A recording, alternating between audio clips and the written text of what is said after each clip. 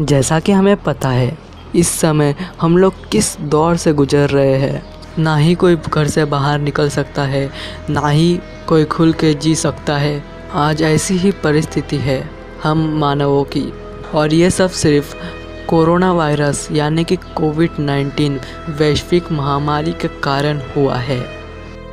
इस समय इस कोरोना वायरस महामारी से बचने के लिए डॉक्टर्स और वैज्ञानिक हमें यही सलाह दे रहे हैं कि हम हमारा इम्यूनिटी यानी कि रोग प्रतिकारक शक्ति को मज़बूत करें। तो आज मैं आपको इम्यून सिस्टम या इम्यूनिटी के बारे में और मज़बूत इम्यूनिटी क्यों ज़रूरी है और उसे कैसे मज़बूत रखा जाए, ये सब के बारे में मैं आपको बताने वाला हूँ। तो चलिए शुरू करते हैं।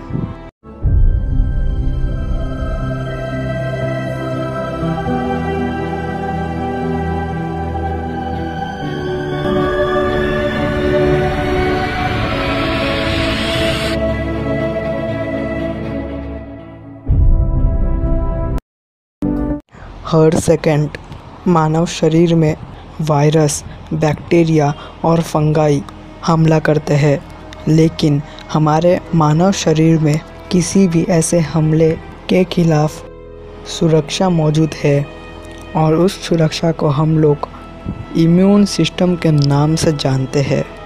जब कोई वायरसेस और बैक्टीरिया का हमला हमारे शरीर पर होता है, तब हमारा इम्यून सिस्टम एंटीबॉडीज़ या एक तरह का केमिकल बनाना शुरू करता है। जिससे उन खतरनाक वायरसेस और बैक्टीरिया का असर हमारे शरीर पर ना पड़े। एक इंसान के लिए जितना सांस लेना और दिल धड़कना ज़रूरी है, उतना ही उसका इम्यून सिस्टम भी मज़बूत होना ज़रूरी है। क्योंकि हमारा इम्यून सिस्टम कई बैरियर से बना हुआ है, जो कि ऐसे खतरनाक वायरसेस और बैक्टीरिया को हमारे शरीर में प्रवेश करने नहीं देता है। और अगर कोई वायरस या बैक्टीरिया गलती से भी हमारे शरीर के अंदर प्रवेश कर लेता है तो हमारा इम्यून सिस्टम कठोरता और समझदारी से उनसे निपट लेता है। तो चलिए, अब जानते हैं कि हमारा इम्यून सिस्टम काम कैसे करता है।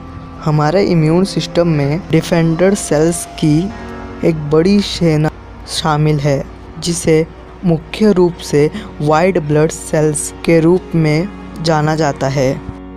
और ऐसे लाखों ब्लड सेल्स हमारे बोन मैरो में उभरते रहते हैं और उनमें से कुछ को मैक्रोफेजेस कहा जाता है, जो कि हमारे शरीर में हर तरफ़ घूमते हैं और जर्म्स को ख़त्म कर देते हैं। अगर फिर भी संक्रमण हो जाता है तो हमारा इम्यून सिस्टम इस तरह के संक्रमण के खिलाफ अधिक शक्तिशाली रक्षा तंत्र को तैयार करती है और टी और बी सेल्स का निर्माण शुरू कर देती है, जो कि आपकी इम्यूनिटी को और मज़बूत करती है, जिससे उस कीटाणु का आप पर ज़्यादा असर ना पड़े। इम्यून सिस्टम हर समय किसी भी मानव शरीर का सक्रिय तंत्र है, जो उन्हें स्वस्थ जीवन जीने के लिए इन जर्म्स और वायरसेस से आपकी रक्षा करता है। तो चलिए अब जानते हैं कि क्या इम्यून सिस्टम मज़बूत करने से हम सच में कोरोना वायरस से लड़ सकते हैं? डॉक्टर रॉबर्ट पोस्नर ने कहा है कि हमें इस समय अपने हेल्थ को ज़्यादा इम्प्रूव करने में ध्यान देना चाहिए।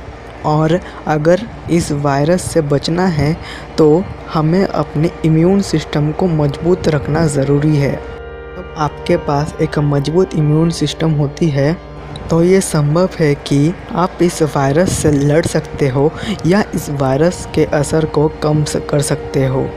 और अगर इम्यून सिस्टम कमज़ोर रहा तो आपको ऐसे वायरस से लड़ने में मुश्किल हो सकती है और संक्रमण होने के चांसेस भी बहुत ही ज़्यादा बढ़ जाते हैं। इसीलिए हमें अपना इम्यून सिस्टम मज़बूत रखना बहुत ही ज़रूरी है। और इम्यून सिस्टम को मज़बूत करने के ऐसे बहुत सारे रास्ते हैं जो कि मैं आपको अभी बताने वाला हूँ। नंबर वन एनफ स्लीप नींद और इम्यूनिटी एक दूसरे से रिलेटेड है। अगर नींद पूरी नहीं होती है तो उसका असर हमारा इम्यूनिटी पर पड़ सकता है। इसीलिए पूरी नींद होना ज़रूरी है। एक आदमी को कम से कम सात से ज़्यादा घंटे सोना चाहिए। और बच्चों को कम से कम आठ से दस घंटा सोना चाहिए और न्यूबॉर्न बेबीज़ को कम से कम चौदह घंटे सोना चाहिए। Number second eat healthy food healthy food यानी कि साग या ग्रीन वेजिटेबल्स खाने चाहिए क्योंकि उनमें एंटीऑक्सीडेंट्स, फाइबर्स और विटामिन सी जैसे अनेक उपकार मौजूद है जिसे खाने से आप बार बार बीमार नहीं पड़ेंगे। और हमें हेल्दी फैट्स का भी सेवन करना चाहिए।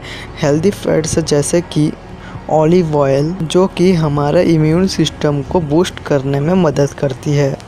और इसके अलावा हमें दूध का सेवन भी करना चाहिए। Number third exercise daily exercise करने से भी हमारा इम्यून सिस्टम मज़बूत बन सकता है। इसीलिए हमें कम से कम एक टाइम तो एक्सरसाइज करना ही चाहिए।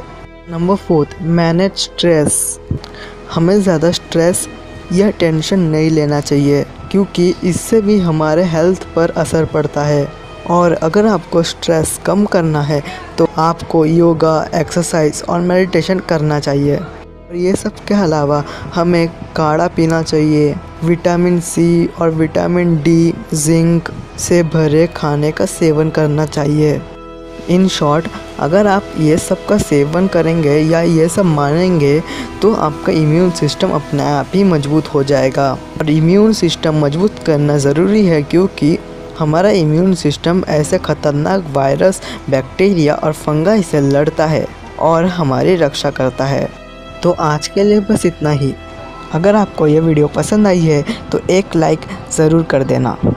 और इस वीडियो के बारे में आपकी क्या राय है, ये हमें कमेंट करके ज़रूर बताएँ। और अगर आप मेरे चैनल पर नए हैं तो मेरे चैनल स्टोरीज एंड मिस्ट्रीज़ को सब्सक्राइब करें और बेल आइकन को प्रेस करें, जिससे ऐसे ही इंटरेस्टिंग वीडियोस आपके पास समय पर पहुँचे। And thank you for watching.